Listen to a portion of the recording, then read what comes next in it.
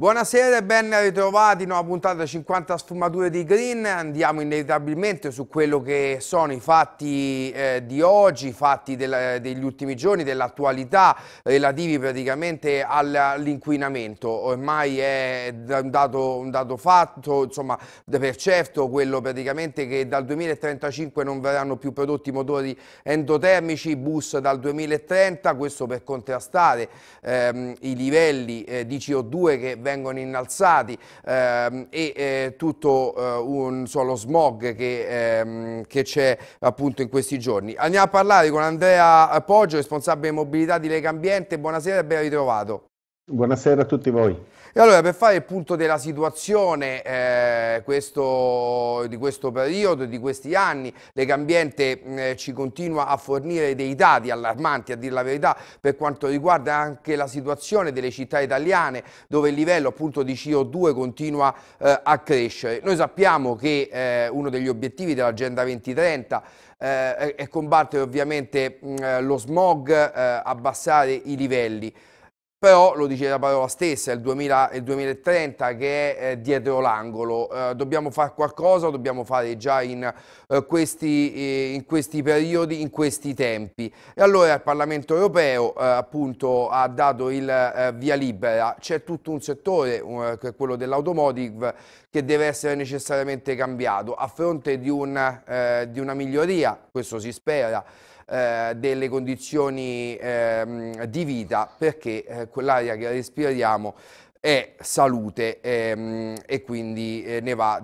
nostro, ehm, dei nostri benefici. Andiamo a vedere allora il servizio con una serie di dati e di numeri, poi ne commentiamo insieme.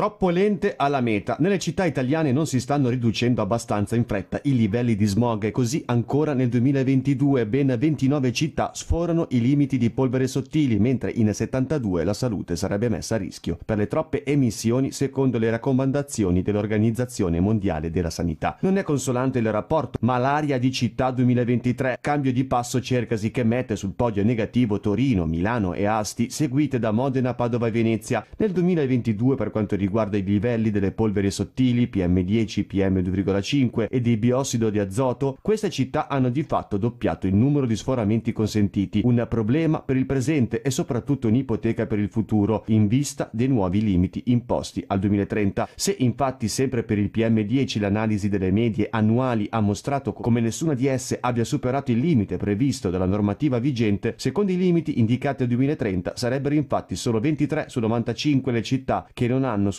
la soglia indicata per quella data. In dettaglio le città che devono impegnarsi di più sono Torino e Milano, Cremona, Andria e Alessandria per il PM10. La tendenza di decrescita dell'inquinamento è troppo lenta, esponendo le città a nuovi rischi sanitari e sanzioni, spiega Lengambiente che sottolinea come le città più distanti dall'obiettivo per il PM10 dovrebbero ridurre le proprie concentrazioni tra il 30% e il 43% entro i prossimi sette anni, ma stando agli attuali trend di riduzione registrati negli ultimi dieci anni anni potrebbero impiegare mediamente altri 17 anni per raggiungere l'obiettivo. Allora Poggio, la situazione è a dir poco allarmante. Ma diciamo da, dipende da che parte la guardiamo. Se la guardiamo dalla parte eh, dei nostri polmoni eh, di 20, 30, 40 anni fa, eh, l'aria è sicuramente migliorata e quindi questo ci dà eh, speranza di poter imprimere la svolta definitiva per ridurre eh, quasi a zero l'inquinamento. Se la guardiamo dal punto di vista dei polmoni dei nostri figli eh, e dei nostri nipoti è molto preoccupante perché soprattutto negli ultimi anni a causa dell'esaurimento eh, dei miglioramenti tecnologici possibili nei motori eh, a benzina diesel piuttosto che nelle caldaie eh, a metano, eh, non si fa abbastanza.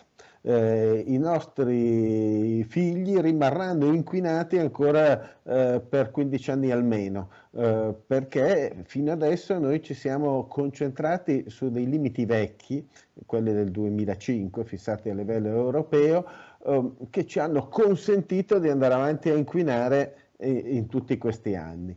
Eh, abbiamo fatto le cose a rilento come Italia perché abbiamo delle automobili molto vecchie, abbiamo ancora dei riscaldamenti troppo spreconi e adesso siamo arrivati un po' al dunque. Eh, I limiti cominciano a avvicinarsi ai limiti sanitari eh, indicati dall'Organizzazione Mondiale della Sanità eh, e quindi riguardano la nostra salute.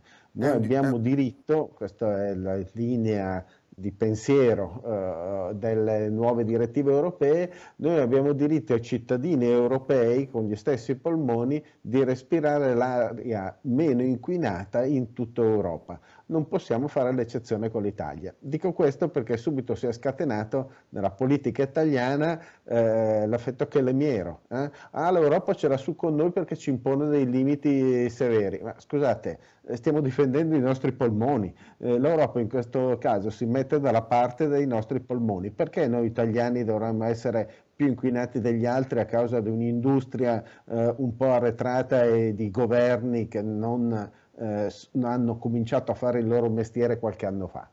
Guardi Poggio, le dico, le dico, una cosa adesso senza fare un po' di ideologia, ma in questa trasmissione ehm, a inizio di settembre, lo, lo, sa benissimo, eravamo in campagna elettorale, si è votato il 25, no? Questa trasmissione abbiamo ehm, mm, eh, insomma, dedicato due puntate a quello che sono stati, appunto parlo al passato, i programmi politici ehm, eh, della campagna elettorale e in merito a questo dei vari programmi i punti green. Io po le posso dire che alcuni partiti avevano poco o niente di green all'interno dei, dei, programmi, eh, poco veramente, i punti erano veramente minimi, eh, il minimo sindacale. Questo cosa vuol dire? Eh, adesso senza, senza, andare a dire centrodestra o centrosinistra, lo sappiamo benissimo, dentro il centrosinistra c'è anche no, una, una, parte che è dedicata molto anche a, ai verdi e quindi viene da sé poter capire quale potesse essere l'ala. Ecco, io penso che al di là delle fazioni, dei colori, di centro di qua o di centro di là, ci debba essere la salute dei cittadini, la salute delle persone, quindi ci debba essere il buon senso da parte dei governi di governi di tutte, di tutte, le stazioni, capire che oggi non si risolve mettendo un monopattino, perché l'abbiamo visto, alcune città sono impossibili, io le posso dire, viviamo a Roma, adesso non, a Milano forse la situazione penso sia migliore, sicuramente sono state fatte, saranno fatte delle ciclabili in più, però io l'ho preso il monopattino a Roma, nella capitale, è pericolosissimo, è pericolosissimo, uno perché non ci sono le vie dedicate, e, le sezioni dedicate, quindi praticamente le, le corsie preferenziali,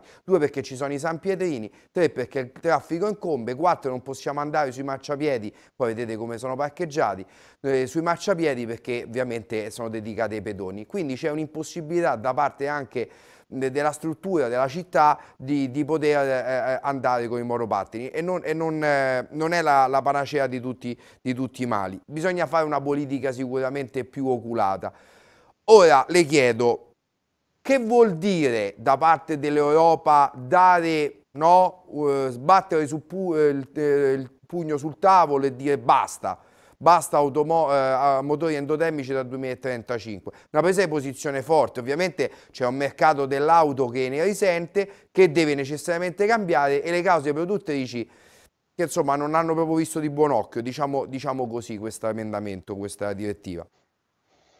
Allora, lungi da me difendere l'Europa piuttosto che questa quella frazione, fazione politica, eh, non mi interessa. Eh, dico soltanto eh, eh che dobbiamo essere più informati eh, anche dei nostri politici, anche eh, dalle nostre imprese, per capire che cosa succede. Mh, mh, guardate, l'Europa non ha deciso improvvisamente eh, il 2035 come data di fine delle vendite delle auto diesel eh, e benzina. Eh, per il 2030 per quanto riguarda gli autobus, eh, che sono già in alcune città in gran parte elettrici, eh, Milano ha già una di, flotta di oltre 200 autobus completamente elettrici che non hanno più il motore diesel e vi assicuro eh, che si viaggia meglio, se non altro con meno rumore, oltre che meno eh, e inquinamento. Eh, questa discussione è iniziata in Europa cinque anni fa.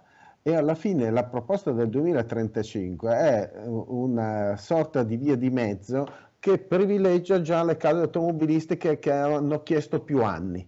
Eh, si andava da case automobilistiche che hanno chiesto il 2030 a quelle che hanno chiesto il 2037 ed è l'industria che dice dateci una regola certa per tutti perché chi fa un'auto la fa per tutta Europa, non è che può farla eh, per ogni regione d'Italia che si mette in testa di avere delle, o ogni città d'Italia che si mette in testa di avere delle regole diverse per l'inquinamento.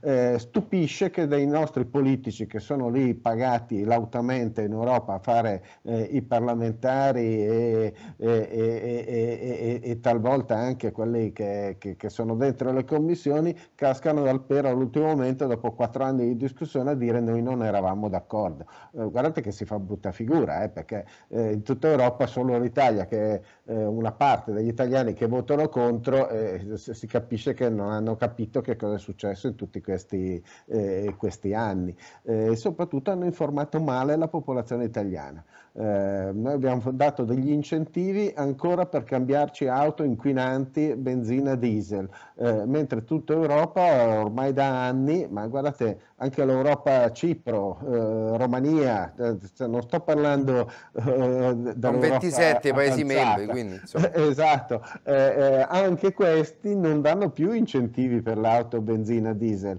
noi facciamo quelle che cascano dal pero e intanto l'industria italiana eh, che nessuno ha aiutato a convertirsi, eh, è stata indietro. Noi eravamo il secondo produttore di automobili in Europa, adesso siamo l'ottavo. Eh, poi se vuole questo è dipeso anche dalla crisi della Fiat che è stata inglobata no? poi dopo dal gruppo, gruppo Chrysler e adesso al gruppo Stellantis dove dentro c'è un po' di tutto, pure Peugeot e altre case automobilistiche non italiane.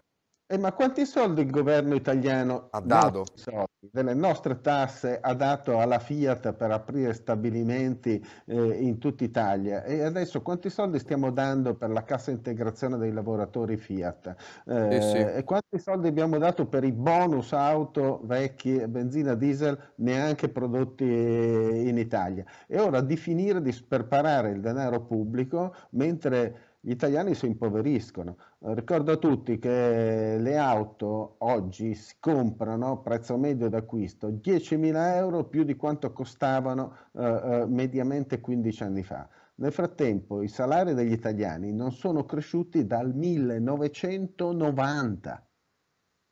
Le do un po' di dati, Poggio, eh, ehm, di un'azienda leader nella consulenza strategica che è ADT, un italiano su cinque si dice pronto ad acquistare la prossima vettura con un'alimentazione elettrica, già questo dice vabbè ok, a patto di pagarla meno di 30.000 euro. A guidare l'interesse verso queste auto sono soprattutto le ragioni economiche. Il 63% motiva le scelte come possibili risparmi legati ai minori consumi, eh, più bassi costi di manutenzione del veicolo, ovviamente no? Mm, non ha motore, cioè meglio, non ha tutta quella parte diciamo endotermica e sono veramente tanti. Poi, eh, quindi, eh, c'è un discorso legato, ehm, poco più di un intervistato su 5, 22%, afferma che la sua prossima vettura sarà elettrica. La percentuale è praticamente doppia, al 44%, è intenzionata concretamente ad affidarsi all'ibrido in tutte le sue forme. Solo il 23% del, cam- del campione sceglierà nuovamente un motore endotermico e il 9% di, di questo 23% è diesel. Il 63% di quanti dichiarano che la propria vettura sarà alla spina giustifica la decisione con ragioni economiche connessi ai risparmi che consentono i costi di consumo. Questo che vuol dire che ancora oggi l'elettrico mm, non è proprio molto economico. C'è un problema legato alle centraline, eh, legato anche ai tempi di ricarica delle stesse batterie che sono molto lunghi. Eh, insomma, ci sono tante problematiche ancora legate a questo elettrico puro. Poi le do anche altro dato, poi ovviamente la lascio rispondere eh, una vettura su quattro è a noleggio. Nel 2022 indecisa crescita le immatricolazioni del noleggio a lungo termine grazie alla spinta dei privati. Eh, in, um, nel, nel, 2022 il settore del noleggio dei veicoli ha immatricolato 365.000 vetture, 28% del totale immatricolazioni registrate da un mercato automobile in deciso calo rispetto al 2021. Quindi praticamente noi abbiamo un calo no, delle, delle, immatricolazioni e un aumento eh, dei veicoli a noleggio a lungo termine. Eh, la quota 30% delle e-car, quindi le elettriche, e il 56% delle ibride plug-in. E, ehm, e, poi insomma vabbè questo insomma ribadisce anche il settore dopo aver stabilmente superato il 25% del mercato è proiettato verso il 30% delle immatricolazioni qua dice che insomma il 2023 sarà eh, in, in ripresa però ecco eh, insomma sull'elettrico abbiamo ancora dei dubbi sul totale elettrico o no? Eh, ma soprattutto abbiamo dei dubbi in Italia, eh, dove il mercato è stato volutamente tenuto in arretrato, eh, talmente in arretrato che siamo passati dal secondo mercato europeo eh, di vendita dell'automobile al quarto posto. Eh, siamo ancora poco prima degli spagnoli che sono meno di noi, eh, stiamo perdendo punti. Eh, questo potrebbe essere persino uh, una buona notizia se eh, l'Italia investisse in trasporto alternativo. Diceva lei bene prima, eh, le città stanno incominciando a porsi il problema che non possono più governare l'invasione delle auto e che quindi dobbiamo tornare al sistema di mobilità eh, universale per definizione, che è il trasporto pubblico. Perché noi abbiamo un quarto delle linee metropolitane dei treni pendolari eh, eh, per abitante rispetto a quelle che hanno i tedeschi e i francesi che sono eh, eh pure più ricche di noi? Eh, noi abbiamo più auto di loro, eh, abbiamo la bellezza di oltre 65 auto ogni 100 abitanti. se andate nelle grandi città d'Europa questa percentuale si dimezza, diventano 30 auto. Perché? Perché si va in autobus, eh, in treno, in metropolitana, in tram o piuttosto si noleggia, eh, si fa la sharing mobility eh, e si noleggia eh, dall'auto fino al monopattino. Perché? Perché le strade vengono ridisegnate per poter andare anche in bicicletta piuttosto che in monopattino. Lei faceva vedere prima eh, le strade di Roma con tutti i monopattini posteggiati sul marciapiede, ma io le posso far vedere anche delle stesse strade con le biciclette legate ai pali. Ma perché io ho sempre girato anche eh, in bicicletta non ho mai avuto un, un parcheggio in città, eh, perché le auto hanno diritto ad avere il parcheggio mentre le biciclette no. Io sono costretto a legare la bicicletta al palo, altrimenti me la rubano, non ho nessuna alternativa. Ecco, eh, dobbiamo cominciare a fare quello che si fa nelle città. Diciamo che ci sono nelle città di mare, no? ci sono nelle città di mare o nelle città magari dell'Emilia, insomma Parma su tutti un po' chiamata no, la, la Pechino eh, d'Italia per quanto riguarda ovviamente la mobilità in, ah, guardi, in bici. Eh. Ne do un altro caso, tra l'altro sì. di, una, di, una, città governata dal centro-est, per dirle che non è né di destra né di sinistra, Olbia, ha deciso di diventare eh, e trasformare tutte le sue strade a massima velocità a 30 all'ora. Perché? Beh, perché tanto più di 30 all'ora mediamente in città non si riesce ad andare e andando tutti più piano si favorisce anche la mobilità eh, fatta con eh, i mezzi leggeri, i scooter elettrici piuttosto che le biciclette, piuttosto che eh, appunto i monopattini. Si aiuta la città dei bambini perché eh, se eh, sono più sicure eh, si riesce ad andare anche a piedi con i, i, bambini e non accompagnarli tutti con il SUV fino dentro alle classi delle nostre scuole per sicurezza. oppure le do un altro caso, a proposito di centrodestra, destra sempre, eh, la città di Genova ha deciso di potenziare i mezzi pubblici, appunto di renderli in certe fasce orarie, la metropolitana nuova, persino gratuita, eh, pur di cercare di invitare la propria popolazione a usare meno automobili e nel caso di eh, Genova moto e scooter vecchi e inquinanti e utilizzare di più i mezzi pubblici. Guardi, le dico, le dico una cosa, noi viviamo a Roma, è una città molto problematica su questo. Eh, io dico sempre che i romani hanno eh, dentro un gene no? eh, che si chiama traffico, perché tutte come le grandi città, no? da tanti milioni di abitanti questo, questo hanno. Beh, le flotte sono, si cambiano dei, dei, bus, come giustamente diceva lei. Adesso eh, proprio Gualtieri, il sindaco, qualche settimana fa ha detto che eh, grazie ai soldi che arriveranno del Giubileo, di Roma Caput Mundi ehm, e anche di quello che sarà anche il nuovo, il nuovo Expo, arriveranno tutta insomma, una mole di soldi che permetteranno di fare degli aggiustamenti e miglioramenti, mh, mm, ce lo auguriamo diciamo noi, soprattutto sui treni anche della metropolitana. Però io le dico una cosa Poggio, siamo sempre lì, puoi anche cambiare con, con un lavoro immane puoi cambiare i treni, le rotaie, sono da decine di anni, ma se non riesci a fare un'altra linea della metropolitana ci facciamo ben poco con i treni nuovi che sicuramente migliorano eh, la qualità soprattutto d'estate perché la linea B ancora non è dotata di aria condizionata ed è incredibile, eh, i treni o meglio, eh, quindi ben vengono i nuovi treni, però se ci mettiamo 30 anni, 40 anni per fare una nuova linea della metro eh, insomma siamo veramente messi male. Mi introduce il discorso con i 30 km orari in città e in Germania già lo fanno e ne so qualcosa perché insomma pagato un po' le conseguenze perché non siamo abituati noi italiani ad andare a 30 in città, le dico sinceramente, ma un, anche questo è un discorso di abitudine, come è stato quello della cinta o del casco eh, alla fine la politica deve, deve prevalere, deve battere sul, eh, insomma, eh, con le leggi, no? deve farsi sentire e, eh, e, possiamo noi eh, cambiare le nostre abitudini. Andiamo a vedere il servizio con il, proprio il presidente dei cambianti Stefano Ciafani.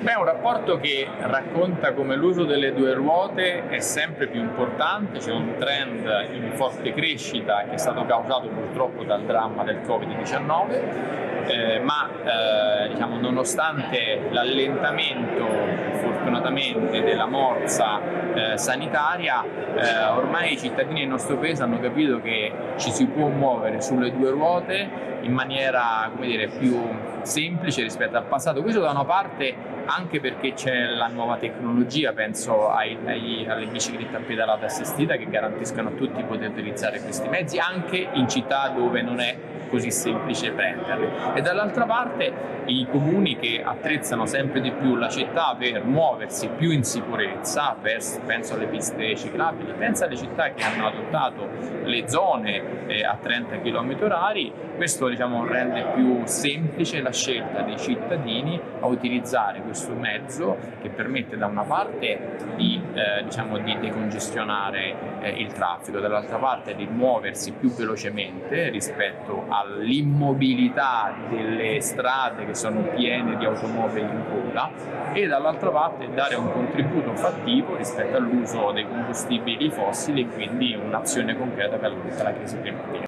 Poggio, eh, ci ha introdotto anche il discorso delle caldaie perché insomma sappiamo che eh, gran parte dei problemi e delle emissioni di CO2, no? quindi del, dell'aria respirabile, dell'inquinamento è dato da, dalle auto, ma gran parte di questa percentuale è data da, dalle emissioni no, delle nostre caldaie, termosifoni e riscaldamento. È sempre Legambiente che dice stop all'installazione di nuove caldaie alimentate a fossili dal, eh, entro il 2025 e parte la campagna di informazione itinerante per decarbonizzare i sistemi di riscaldamento o raffrescamento responsabili quasi del 18% delle emissioni di CO2 in Italia. Eh, a gas, pezzi da museo e quindi promossa questa è una campagna Legambiente sviluppata, ricordo, con eh, il Kyoto Club per spostare i sussidi per le caldaie a gas su tecnologie di riscaldamento sostenibili e qua insomma lo stiamo dicendo veramente tanto e tanto tempo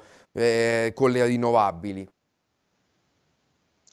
Ma sapete che io a casa mia non ho più il contatore del gas, eh, ne posso be benissimo fare a meno. Eh, la cucina è con eh, elettrica a induzione, quindi un sistema elettrico che fa risparmiare eh, energia, eh, la pompa di calore mi governa la temperatura dell'aria eh, eh in casa e così posso fare anche il riscaldamento.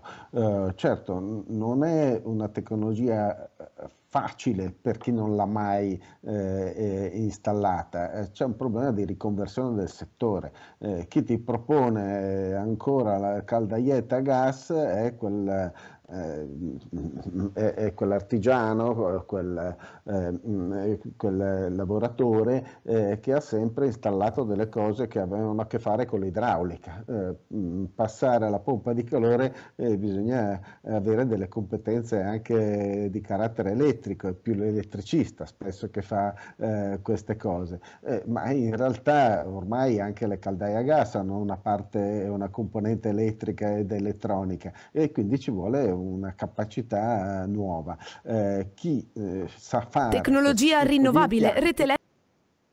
No, prego, prego. Fare questi impianti eh, eh, lo può fare in maniera ottimale, anche con grande soddisfazione. Io insieme eh, alla pompa di calore ho anche i pannelli solari e le assicuro che sono felice come Va benissimo. Pasta, soprattutto nell'ultimo anno eh, che mi sono risparmiato la bolletta del gas completamente e ho avuto una bolletta elettrica eh, molto contenuta.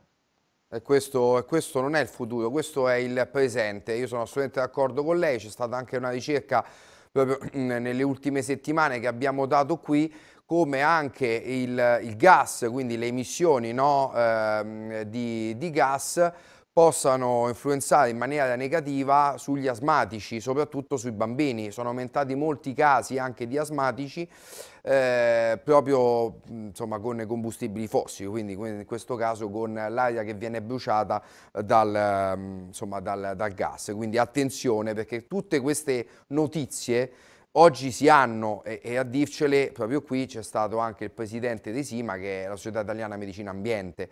Quindi insomma facciamo anche informazione eh, e poi ecco anche la bolletta, come ha detto Andrea Poggio, ne risente in senso positivo. No? Si ne, si, vengono I benefici vengono anche dal portafogli, non solo da, per la salute. Bene, Andrea Poggio grazie, buona, buona grazie. serata, sempre disponibile alla prossima. Arrivederci e buona serata a tutti. Grazie, responsabile mobilità di Lega Ambiente. Noi ci fermiamo qualche istante e andiamo in pausa.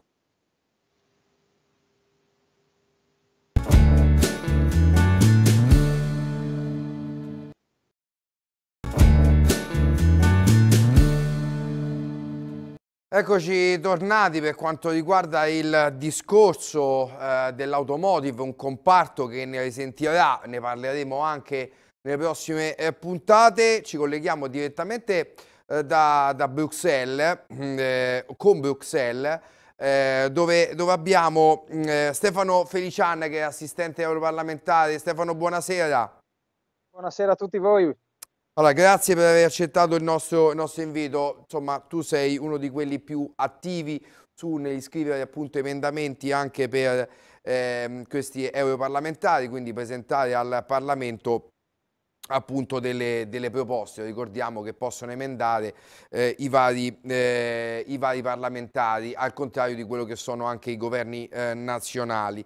Ehm, ora Stefano, la situazione, visto che abbiamo parlato nella prima parte dell'automotive, quando ci siamo incontrati appunto la scorsa settimana a Bruxelles, tu dicevi che un po' il comparto dell'automotive, diciamo, non dico si è fatto infinocchiare, però eh, ha subito quello che è stato queste direttive imposte dal, dall'Unione Europea. Ecco, secondo te che hai un po' contezza della situazione, ovviamente non sei un tecnico, non fai parte dell'automotive, ma hai un po' il sentore, visto che parli anche con tante associazioni di categoria, senti anche più campane. Eh, ecco, porterà cosa? Eh, sicuramente un cambiamento nelle nostre abitudini, un cambiamento anche nel, nella produzione di auto, Ecco, come possiamo secondo te vedere anche da cittadino europeo, tu che vivi da tanti anni anche a Bruxelles e lavori al Parlamento europeo, come possiamo vedere questo cambiamento che dal 2035 non verranno più prodotti motori endotermici? Sì, allora innanzitutto buonasera a tutti e grazie mille dell'invito. Eh, io ovviamente devo specificare che perché lavoro per un'istituzione europea, tutte le opinioni e, e le idee che questa sera diremo sono ovviamente a mio titolo assolutamente personale, non impegnano eh, nell'Unione Europea, nell'istituzione per la quale lavoro, che è specificamente il Parlamento Europeo. Questo è un disclaimer che dobbiamo sempre fare. Allora, eh, secondo me la, le riflessioni corrette che tu fai sulla questione automotive, ma come su altre normative che l'Unione Europea sta intraprendendo, impatteranno, eh, innanzitutto impatteranno in materia di tempi, perché il 2035 a noi sembra molto lontano se pensiamo a chi fa, so, un'università, uno studente, ma per un ciclo industriale 2035 è, è, è, domani. Pensiamo, ogni ascoltatore di noi, quanti anni tiene una macchina? Non è che la tiene sei mesi e poi la mette via come una, cioè una giacca del fast fashion. Ecco. Quindi cambiare i procedimenti industriali chiederà molto tempo. Se uno deve passare da cambiare una linea produttiva che fa un motore a benzina, a diesel o quello che volete, a un motore elettrico che è fatto in maniera completamente diversa, questo cambierà molto. Cambierà molto gli operatori. Adesso vediamo la, una stazione di ricarica, cambierà molto tutta la rete, tutta la rete, tutta la rete di distribuzione, eh, cambierà molto anche il fatto che dobbiamo capire se ci spostiamo sul full electric, dove troviamo tutta la corrente elettrica per alimentare le macchine, perché naturalmente se noi attacchiamo tutti gli elettrodomestici di casa allo stesso tempo, è molto probabile che il, insomma, ci salta la corrente elettrica a casa. Allora, questo senza fare valutazioni che siano positive, negative, quelle magari le vediamo dopo, il fatto è che sarà un cambiamento radicale e dobbiamo essere sicuri che quando uno fa un cambiamento è sicuro della tecnologia con la quale va, eh, va di fronte. E io mi ricordo per chiudere che eh, qualche anno fa veniva detto sui telefoni che il WAP era diciamo, il futuro di internet sul telefono. Fu una tecnologia che tutti cercavano di vendere e che non funzionò. Quindi bisogna stare attenti quando si vuole affrontare un salto tecnologico così grosso ad avere le, le cosiddette spalle coperte e una capacità industriale e tecnologica di reggere questi grandi cambiamenti. Senti, ma eh, secondo, me i cambiamenti saranno anche politici e delle varie aziende leader, magari in Italia, certo. in Francia, i cambiamenti dovranno essere fatti anche da loro? Beh, sicuramente sì, perché poi eh, il problema è che naturalmente noi possiamo chiedere un cambiamento imposto eh, con una normativa, cioè la normativa dice bene, dal 2035 stoppa le vendite delle macchine, delle macchine endotermiche. Il problema è capire poi quali sono i costi che affronteranno i cittadini, tutti noi, que- e le imprese in questo tipo di cosa, perché per noi cittadini ci si può limitare a optare a comprare una macchina elettrica invece che una macchina, eh, come dire, eh, endotermica. Il problema è per un'impresa. Se un'impresa ha sempre fatto motori eh, endotermici, fare motori elettrici è tutto un altro sistema da quello che mi hanno detto diverse persone, sono anche dei motori più semplici come costruzione. E tutta, ovviamente non c'è solo la Fiat, dico un esempio, una Fiat, un'altra impresa che le fa, ma c'è tutta la filiera, chi fa le, le, gli alberi a camme, chi fa ehm, le, le, valvole, chi fa i pistoni, tutte queste persone dove andranno? Tutte queste fabbriche dove andranno? Tutti i lavoratori che sono lì, magari sono un cinquantenne che fa e che è esperto di produzione di pistoni, il guru di questo tema, difficilmente diventerà un imprenditore digitale il giorno dopo, no? Quindi eh, ecco, c'è un aspetto eh, di sostenibilità ambientale, ma anche di sostenibilità, chiamiamola sociale in senso lato, non solo lavorativa, ma anche proprio sociale. Senti, con te voglio toccare anche altri temi, poi dopo, eh, visto che insomma, hai una capacità di spaziare e sei una commissione molto delicata, quella appunto dell'ambiente e della sanità eh, appunto al Parlamento europeo, cioè ti occupi no? anche di queste, di queste tematiche. Un'altra tematica delicata è quello che sta avvenendo fuori anche delle case green. Allora, se per il 2035 hai detto che è un tempo molto, molto breve, figuriamoci nel 2030, eh, è qualcosa veramente di incredibile, sono tempi strettissimi, quasi impossibili. Allora, prima di darti la parola, vediamo insieme questo servizio sulle case green, come cambia eh, e come cambierà anche eh, il nostro efficientamento energetico. Prego. Entro il 2030 le emissioni delle case dovranno essere più basse, lo prevede la proposta di direttiva europea in linea con la politica ambientale Fit for 55 che punta alla riduzione del 55% della CO2 tra 7 anni. Una direttiva che è ancora sotto forma di proposta ma che non piace al governo italiano. La direttiva che prevede il passaggio alla classe per tutti gli immobili residenziali entro il 2030 potrebbe costare alle tasche dei cittadini fino a 59 miliardi di euro l'anno, quasi 3 punti punti percentuali di PIL. La svolta dell'Europa sulle emissioni sembra poter risparmiare alcune tipologie di immobili, come gli edifici storici e quelli con consumi complessivi durante l'anno molto limitati. L'elenco delle case escluse dalla direttiva dell'Unione Europea è però ancora incerto. La stretta di Bruxelles specifica che entro dieci anni tutti gli immobili residenziali dovranno raggiungere almeno la classe energetica E. Poi, dopo altri tre anni, nel 2033, sarà necessario un altro scatto e arrivare alla classe D. Tra il 2040 e il 2050 invece l'obiettivo è quello di raggiungere le emissioni zero. Ciò significa che gli edifici dovranno consumare poca energia, essere alimentati per quanto possibile da fonti rinnovabili e non dovranno emettere in loco emissioni di carbonio da combustibili fossili, ha spiegato l'Unione Europea. Secondo un'indagine commissionata da Confindustria Asso Immobiliare, il 56% di coloro che hanno intenzione di acquistare una casa dichiara di voler abitazioni di classe A contro un 26% contrario e un 19% che non si pronuncia. Secondo l'associazione però il parco italiano non si presenterebbe a operazioni di baggillage. Occorre, spiega Rovere, sostituire il patrimonio immobiliare esistente con nuove costruzioni ed altre prestazioni energetiche. Ma come? In tutte le città ci sono interi quartieri con costruzioni obsolete, degradate, insicure e certamente prive di qualsiasi valore storico-architettonico, che andrebbero demolite e ricostruite secondo i più elevati standard di efficienza energetica, sismica e tecnologica. Ecco Stefano, i fatti di cronaca che ci riportano, al di là del terremoto in Turchia, comunque anche lì sono stati inquisiti, arrestati tante persone no? Che hanno costruito questi impianti non, non, a norma, per non parlare vabbè, della Siria, che lì la situazione è completamente diversa con i campi, anche molti dei, dei profughi. Però ci si preoccupa anche di questo, di ricostruire degli, degli impianti, o meglio delle, delle case anche antisismiche. Ma questo è un discorso che viene, ehm, è parallelo. Eh, oggi eh, quello che ci dice l'Europa è appunto no, di eh, cambiare eh, anche tutto il nostro sistema energetico all'interno delle abitazioni perché eh, i riscaldamenti eh, sono, i, insomma, sono, inquinanti più delle, delle auto. Ora, ehm, i tempi sono no, stretti, strettissimi, quasi impossibili secondo te, vero?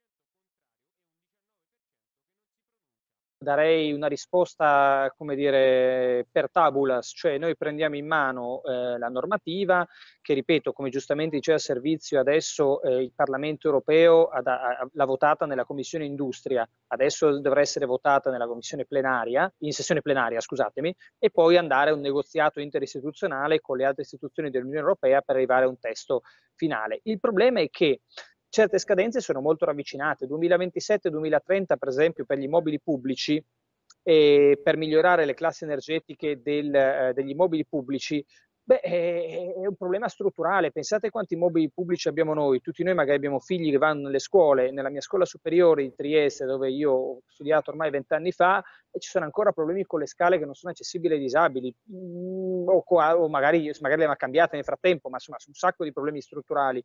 Figuratevi tutto il resto. Quindi non è che io penso che nessuna persona, come anche questa indagine dice, tutti sono favorevoli ad avere case con impatto energetico più basso e quindi con inquinamento più basso. Su questo non vedo chi, a chi piace vivere in un ambiente inquinato e con neanche la persona ideologicamente più convinta. Il problema sono le tempistiche e capire con che costi e soprattutto, perdonatemi, chi paga tutta questa transizione qui. Queste sono domande che mi faccio prima ancora e come persona che ha seguito questo dossier, come semplice cittadino, perché a me farebbe sicuramente piacere avere una casa che inquina di meno e che consuma di meno, così pago anche meno di bolletta. Però voi sapete bene che per passare da una classe energetica a un'altra non è che basta cambiare un infisso oppure usare meno la... cioè per passare da una classe E a una classe D, ma, o da una classe D a una classe C, magari i costi sono esponenziali. O magari, magari fare, se... banalizzo la lavastoviglie di notte. Ripeto, sì, cioè non è, mm. è, una tipo più... Cioè, ehm, penso che una combinazione con tempi stretti, incertezze di fondi e, e, e a maggior ragione, e magari anche, anche, lì eh, abbiamo visto tutti mancanza di maestranze, materie prime che sono costate molto, chi ha rifatto la casa in questi ultimi mesi rispetto a qualche anno fa l'ha notato. Ecco, forse, forse un po' più come dire di, di, pianificazione temporale non farebbe male, secondo me. Sono d'accordo, noi abbiamo anche tutto un, un patrimonio artistico-culturale, no? di, di, di monumenti e soprattutto anche di palazzi di una certa data E, e lì eh, sì, vabbè, si, si, avrà, si ipotizza, no? Eh, una, mm, diciamo, si, si, evitano e si delimitano tutti questi, questi palazzi e, e tutte queste, queste opere d'arte. Ehm, ho capito, però poi tutto il resto. Oggi Legambiente ci dice che eh, i, i, sistemi di riscaldamento e raffrescamento sono responsabili del 18% in Italia delle emissioni di CO2. Eh, tanta roba. Certo, beh, in realtà la gran parte dell'inquinamento urbano in realtà è fatto da, eh, dal riscaldamento urbano, non sicuramente dalle... Certo ci sono sicuramente le macchine, i veicoli, ma la gran parte dell'inquinamento è fatto dal riscaldamento urbano civile, cioè dalle, dalle case in cui abitiamo tutti noi. Io però Con delle caldaie veramente che abbiamo soprattutto qua in alcune sì. parti del centro storico, delle caldaie vetuste, anche questo eh, fa sì, parte, no? Sì, però come dicevi tu prima, il problema è tu dici le esenzioni, i centri storici, e non so, i nostri ascoltatori avranno sicuramente in mente la, la piazza di Siena, piazza del campo di Siena, una, una, piazza che mi piace molto, io non sono senese, quindi non è che parteggio, però vi faccio un esempio, la Torre bellissima. del Mangio sicuramente è bellissima, la Torre del Mangio e il Palazzo Comunale sono meravigliosi, allora quelli lì sicuramente sarà difficile farci un cappotto o mettergli il tetto e i pannelli solari, però non è solamente quello lì, se noi trasformiamo uh, la, il palazzo di Siena, lo lasciamo stare, e tutta la piazza la trasformiamo, penso che probabilmente perda un po' di quell'atmosfera, come dire, magica che fa innamorare ogni persona che va a Siena. E quindi anche lì io voglio vedere se eh, cioè il Pantheon lo lasciamo com'è, per fare un esempio, ma, ma ristorante davanti gli mettiamo il cappotto e quindi lo facciamo trasformare da un edificio del 600-700 a un edificio moderno. E, e, diciamo che lì sarebbe anche un po' complicato capire, allora se cominciano ad esserci un po' troppe esenzioni, un po' troppe esenzioni, viene da chiedersi, cioè le norme sono fatte per essere applicate, le, mm. le, le esenzioni devono essere puntuali, perché se tutti chiedono esenzioni, poi l'obiettivo finale, come diceva il vostro servizio, cioè la decarbonizzazione, non lo raggiungeremo mai, quindi... Eh... Eh, eh allora, infatti Stefano, ti, ti, ti chiedo, ma allora l'Italia, che ha queste problematiche, magari rispetto ad altri paesi, soprattutto quelli del nord, dove poi la situazione può essere anche migliore, sono anche più piccoli, meno eh, certo, popolazione, certo, quindi certo. no, hanno diciamo, più a cuore queste tematiche, quindi da prima che lavorano, soprattutto, ripeto, i paesi scandinavi. Ora, l'Italia cosa rischia? Multe? Ma allora, dunque, c'è, c'è previsto nella normativa un, eh, un, paragrafo dedicato alle penalità, perché teoricamente mm. gli stati, eh, questa è una direttiva, quindi poi toccherà agli stati traspondere diciamo, in normativa nazionale e puntuale e come arrivare alle varie scadenze. Certo, sono previste delle penalità, dipenderà anche come, ogni Stato come le metterà, però ecco, ehm, io vedo immagino, immagino, che sarà difficile mettere come penalità il pagamento di 100 euro di multa, perché se no, eh, come dire, è un po' mh, aggirare l'obiettivo della normativa, insomma. E, e, anche perché poi si rischia la procedura di infrazione, se l'Italia ne ha già aperte diverse, diverse altre.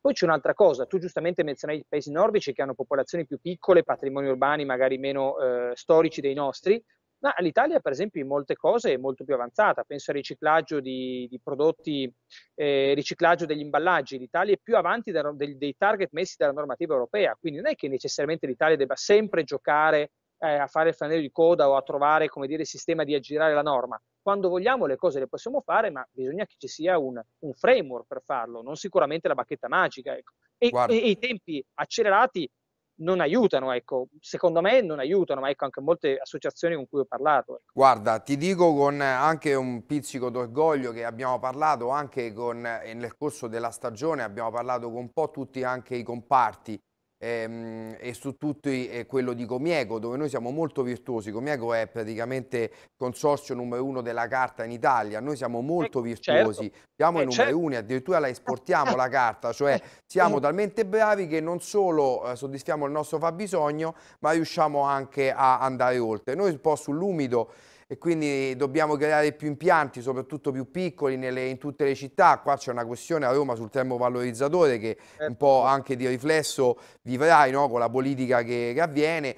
Eh, ecco, eh, c'è chi dice che è piccolo, c'è chi dice che, che, che, ancora deve essere costruito ma già vecchio, eh, c'è chi dice che ne, ce ne vorrebbero altri due o tre eh, per soddisfare i fabbisogni di Roma. Abbiamo la, la, una delle tari più alte, abbiamo anche ospitato qui ehm, mm, ehm, l'assessore all'ambiente eh, di Roma Capitale ci sono dei problemi sicuramente molto grandi, però io vedo che in altre città, anche grandi capitali europee, si fa una differenziata, mm, anche qui la politica deve, deve, muovere. Allora ti chiedo, prima di passare al prossimo discorso, al prossimo argomento, ti chiedo ma quanto l'Unione Europea poi dà eh, appunto delle linee guida, delle direttive cosiddette e quanto poi invece eh, con, eh, con, altri emendamenti, altre, ehm, altre, direttive come queste, praticamente delle le cosiddette case green del 2035, lo stop della produzione dei motori endotermici, eh, invece eh, riesce a imporsi. Cioè dove noi possiamo avere e possiamo parlare di Europa, perché tu ormai la vivi, eh, eh, alcune cose, alcune materie, alcuni ehm, diciamo, argomenti dati dalle commissioni sono sempre lasciati alle volontà ehm, a, a, di poter ogni Stato membro di poter legiferare all'interno dei propri confini. In altri argomenti questo non è. E allora, insomma, un po' un quadro, tu che vivi anche le, e, e, lavori all'interno di, di, di quei palazzi poi. Ma quando io eh, studiavo giurisprudenza tanti anni fa, eh, mi, mi, avevano insegnato in diritto, in diritto, costituzionale che le leggi danno l'indirizzo politico, quindi come tutte le cose, tutta la normativa che esce dall'Unione Europea è sempre un, non vorrei dire compromesso per un termine brutto, ma c'è un negoziato fra diverse posizioni e si arriva a una posizione finale che magari alcune volte piace, altre volte piace meno e per questo esistono gruppi parlamentari diversi che votano in modo diverso.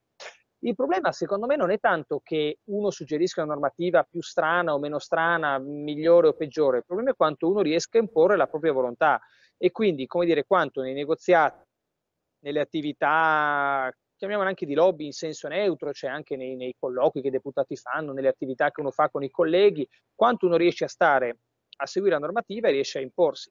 Io penso che in generale, e questo in generale lo vediamo per molte cose, eh, a livello proprio di sistema, senza poi entrare in critiche eh, specifiche a nessuno, il fatto che noi negli ultimi cinque anni abbiamo cambiato tre governi eh, sicuramente non penso aiuti eh, come dire, un indirizzo stabile e, e, politico e quindi legislativo dei, delle nostre priorità nazionali, soprattutto se lo paragoniamo a, eh, che ne so, l'era Merkel che invece ha governato vent'anni di fila, poi per carità ehm, l'Italia è una storia particolare, dico, ma molte volte eh, penso che per avere eh, questi dossier sono dossier che prendono tempi lunghi, non è che si, oggi eh, si viene votato domani, sarà quattro anni che parliamo di, di, edifici, di edifici, quindi come dire...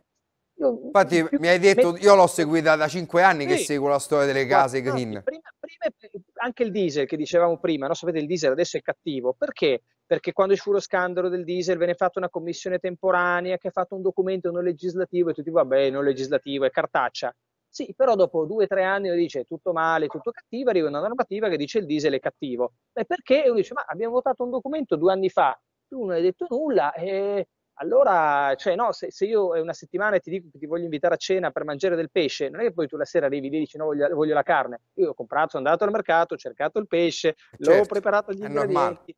Cioè, come dire, il problema Senti. è che in Italia molte volte siamo abituati a delle tempistiche magari più strette o più rapide che forse non sempre mh, si fasano su quelle dell'Unione Europea, perdonate. Senti, ti faccio, ti, ti, dacci un suggerimento qua come, come persona insomma, che ti sta a cuore questo argomento. E, eh, ma allora, uno va a comprare una macchina adesso, motore diesel o benzina che sia. Che succede dopo il 2035? Cioè, a parte diciamo, macchina che possono durare anche 15 anni. Cioè certo. vanno avanti quelle già in essere, c'è la produzione al 2035 fino a che poi dopo si porta fino a fine vita. Direi proprio, cioè, ci mancherebbe altro, cioè, uno, cioè voglio vedere, ci mancherebbe altro che, che vadano obbligatoriamente a male tutto. Cioè se uno cammina, per esempio, eh, io sono di origine triestina quando cammino per la mia città vedo che il parco macchine, almeno quello del quartiere dove vivo io, ha tutte targhe dei primi anni 2000, cioè gente si è tenuta la macchina per vent'anni, ma tendenzialmente più o meno 15-20 anni, questo è il tempo in cui uno tiene una macchina normalmente per ammortizzare il costo, a meno che uno non abbia piacere di cambiarle più spesso. E ovviamente rimarranno, rimarranno infrastrutture dei carburanti, così. Il problema, per esempio, è un altro, che adesso si, si è fatto molto discutere i carburanti alternativi che magari possono sostenibili, che possono abbassare le emissioni. Ma voi pensate a una grande impresa che fa carburanti, perché dovrebbe investire in questo settore se poi si passa tutto all'elettrico? Perché investire in carburanti che inquinano di meno se domani si va solo all'elettrico?